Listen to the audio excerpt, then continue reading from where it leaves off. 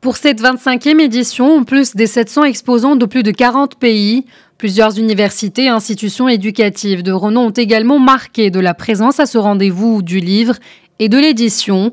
L'université Mohamed V, représentée à cette 25e édition, a suscité l'intérêt des visiteurs à travers son stand. L'occasion est celle de renforcer la communication entre le public et l'institution universitaire. Nous sommes très contents d'assister à ce salon organisé à Casablanca.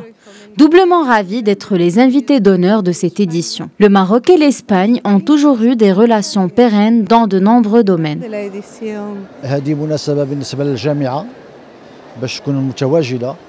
Ce salon est une occasion en or pour les universités marocaines d'étoffer ses rayons avec leurs publications, qu'elles soient relatives au social, à l'économie ou à la recherche scientifique et la sociologie. C'est également l'occasion de rencontrer un public assoiffé de savoir.